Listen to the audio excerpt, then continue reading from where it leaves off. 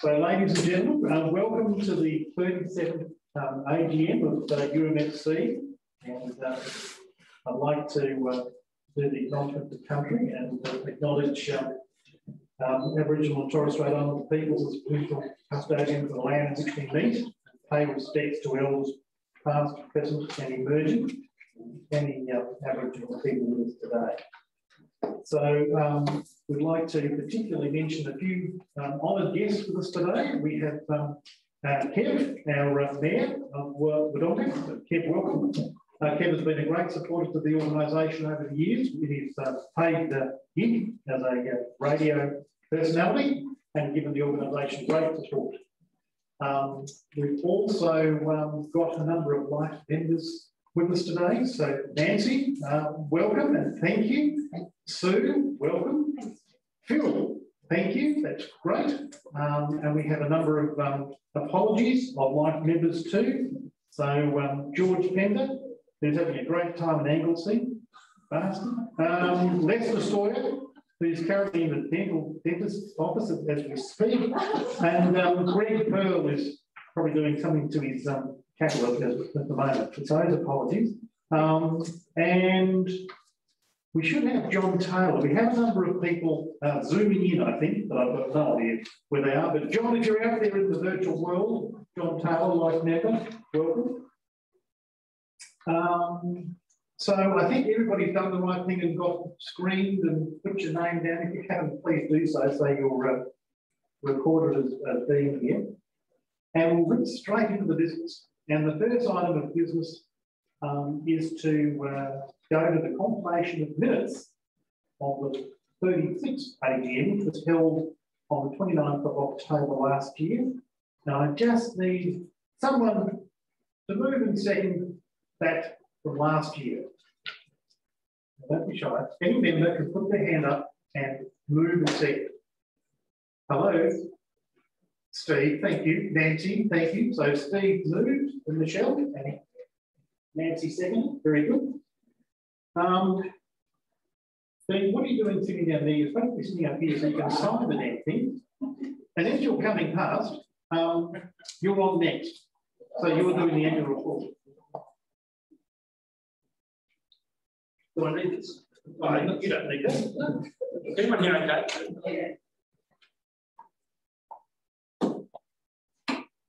Okay. Um, thank you. Thank you to everyone for attending, for, the, for those on virtual and to the, to the members and staff, and obviously some of the members here also. Um, there has been some apologies from some of the board members who normally be here. Um, interestingly, uh, a couple of those working in the health centre, uh, health industry and other sectors have been really impacted still through the COVID scenario. So um, as well. So um, for those board members that aren't here also want to make you would all have um, at your hand the 2021 annual report. Um, always well presented. Um, it's great read. Um, it's always very colourful and, and happy in, in, how we present that, which is, which is fantastic. Um, I will take any questions from it if you like. Uh, if anything like some um, verification on, Jackie will talk to the financial part. Um, for the two people that might have read the President's report, of which actually that's probably there might have been one person who's read it, um, you would have seen it was fairly strong around uh, Luke. And uh, we'll talk a little bit about Luke through the day in the next five minutes because we do have a 20 minute window on that as all. Um, and uh, I would like to, to talk a little bit about what's happened with Luke. Clearly, um, big shoes to fill. We, we know that he, he's on the, the end of an incredibly illustrious career with us, but what happens next? And uh, we're very happy to, to watch him go off in the twilight and enjoy a fantastic life. I'll talk a little bit about that in my report to was read it. Um, but I think it's, it's interesting that um, probably for this group and for, for those observing what happens next, uh, the board is um, currently in the process, very comprehensive process of finding uh, new Luke, and it won't be the new Luke. Um, it'll be someone that has some, some skills like Luke, but also has some values like Luke. And perhaps some other things as well. We, we were talking about uh, Luke's tenure of 37 odd years. Um, and the unlikely that we find someone who will look for another thing as if the next person may not be that one. And what does that mean um, as an agency? What does it mean for the board? What does it mean for staff, obviously? Um, so we are down that process. Uh, I suspect we'll get a good idea of what that looks like probably around January, February. Uh, and then we you know, coming back to staff, coming back to, to the board around um, the, the, replacement timing and who that person is. I'm a little bit excited, not, not anything against Luke, but I am excited about who that person might be. Uh, the, there's a lot of things happening in, in, the sector, of course. This person may not come from the sector, we don't know. It, it's, a, it's an exciting time. Luke has been fantastic through the process, we need to acknowledge that. So let's see, and uh, good luck. Anyway, let's push on. Any questions, happy to take those on that process, on, on, on, on the Luke thing. I'm mindful of not concentrating just on Luke. Yeah, and Luke would be very clear on saying the agency is a lot bigger than him is. But it is an important process. I want to make sure everyone's involved in that. We'll have some feedback uh, through the process. Nothing else for that? Uh, sure. That, yeah. uh, that's not the end of that. We will we will be obviously acknowledging um, for his time, but not, not quite. Um, my job uh, to acknowledge to acknowledge uh, the preparation and accept the uh, annual report under 8.1.3 of the Rules and Constitution of Upper Murray Family Care Incorporated, the business AGM, uh, that the uh, annual report presented by the executive on the transactions of the agency preceding financial be received and tabled. I just need a member to move that and second that, please. And got Phil and Fran. Thank you. Jackie, presentation financial reports. Yes.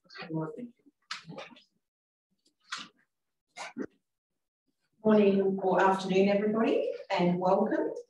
Uh, I'm here to do the riveting part, the financial report. Now, everyone would have got one of those in their, their seat, and I'm sure you've all um, digested it very thoroughly. Um, I'm also happy to take any questions. I'll just probably draw your attention to just a couple of brief highlights out of the financial report. Uh, my Treasurer's report is on page 13 and you can read that at your leisure. Um, I probably just want to acknowledge the really hard work of the finance team, um, uh, Ray and Liesl, and uh, through another quite challenging year. Um, and they do a great job pulling it all together and um, keeping everybody um, in, you know, doing what they're meant to be doing. Um, so this year, I guess uh, you'll see with the little pictures on the financial report that our main source of revenue is from government. And so, you know, we are a little bit um, at the beck and call of government, and that presents a lot of challenges in, in our strategic planning and being um, around that and all of the uh, risks associated with being reliant on government funding. So the agency does a fantastic job of making sure that they comply with all, all the requirements that, that keep them in the running for that, for that funding. Uh, and our biggest cost is our employees because our people are what do, you know, execute what we do as an agency. Um, and, and that's 80% of, of the service costs. And uh, just like to acknowledge everybody's part in that, um, the great work that the agency does. The agency recorded a surplus this year of 1.8 million. Now that sounds like a lot for a not-for-profit. Uh, and I've gone to a little bit of trouble in my report this year to just explain why there's profit. Uh, there's been a funky change in accounting standards that none of us have much control over, but what it means for us is that the timing of our recognition of income is brought forward. So uh, we have to say it's our money when we receive it, even though we haven't always spent the money yet. Uh, and in the past, we've been able to kind of match those two things more closely. So the first year of adopting that um, new accounting standard has the biggest impact because we have a bit of a catch up. So I don't expect that we will see that type of surplus again. Um, and, and I guess it's just important to point out that without saying it's not a real surplus, it is, it's just a, a, change in timing of bringing that to account.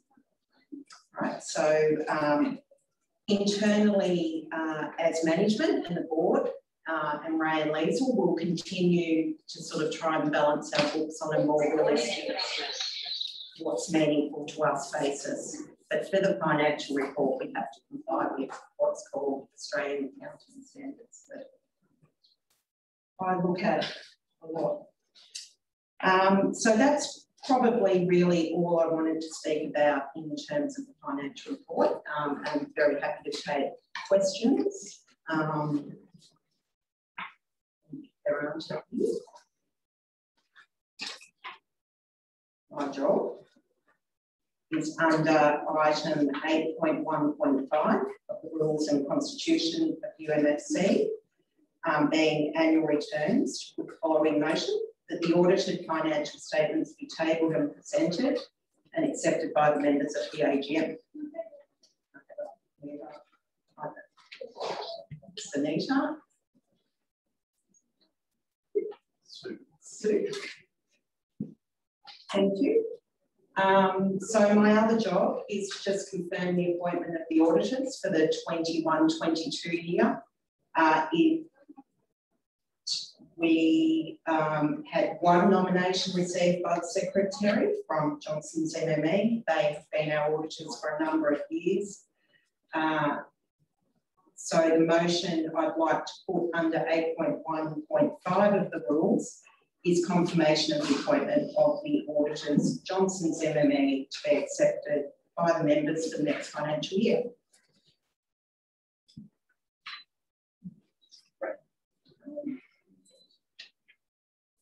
It's a hard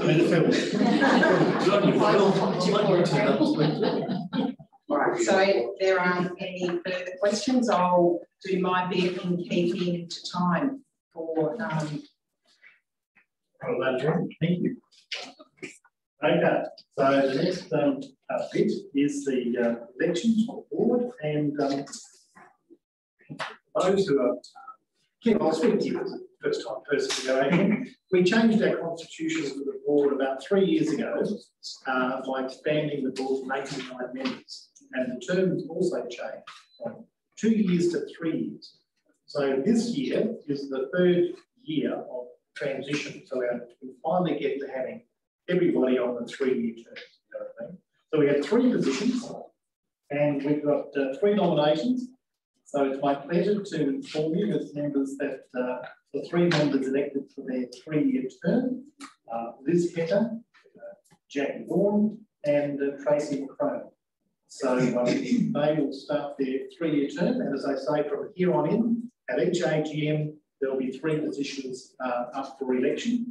Um, and under the other constitutional change we made, if there's a casual vacancy, because um, signing someone up for three years is going to be a bit daunting, so you need to reassure them that you can live your life, and if you move on, that's fine. Um, so if there's a casual vacancy, the person filling the casual vacancy fills out the remainder of that person's uh, term who they're succeeding. So that's anywhere from one to three years. But from now on, there'll only be three positions up for election. So Liz, Jackie, and Tracy are the three folks. So a round of applause. Thank you. That's very good. Um, now, that means that Oh, we're all done. No, so, no, special, special business. Well, we haven't got any special business. that's all good. So we're on the fun bit, which is the presentation. So, uh, so Lynne, are you doing the um, the bit? Do you want to come up? So while Lynne, our manager of um, out of home care, comes up to get our Betty McLean award, I'll just get a background. Betty, for those who don't know, was a long-serving member of Wodonga Council and uh, a long-serving member of our organisation. and a life member. And in honour for all her work in the community, we, about 20 years ago, in the annual report, we started the Betty McLean Award to honour volunteers who are the real lifeblood and essence of our organisation. So this year's um, award, Lynne, over to you. Thank you. Well, we're very excited in our home care for this award this year. Um, just to give you a bit, bit, of background, I think you would all know when you see all the ads about Upper Murray and, and becoming a carer, it's a really tough gig. Um, we're very fortunate that Meaghan is one of our most therapeutic carers. She's just a gem to have. And the amount of times in meetings where the department will go, cut Meaghan. Wish we could clone you, Meaghan, and, and make many of you because the support you provide, the advocacy for not only the children, but all of their families, which is the hardest part of being a carer, to make sure that family feel inclusive. Meaghan is non-judgmental, she's supportive in any way. She does little things like with family contact, she'll send little presents for Mother's Day and, photos and, and little things for Easter. She just goes above and beyond for these kids. So it's really an amazing award and I'm, I'm glad that it's coming to you, Meaghan. So congratulations.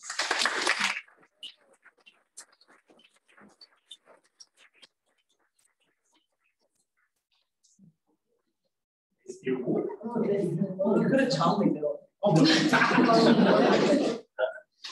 there you go. You say something? I'll hold that for you. Not particularly. I really don't like getting awards. I think when they rang me, I actually said, oh no, I don't really want that. Um, I am really thankful. Um, I'm thankful for the opportunity and I suppose just the recognition, as much as you don't do it for recognition, it's nice to know that, that people are thinking about you and know what you do. Sorry, I'm not good at talking about this. Thank you. There you go can help also that through about it. Yeah. Thank you very much.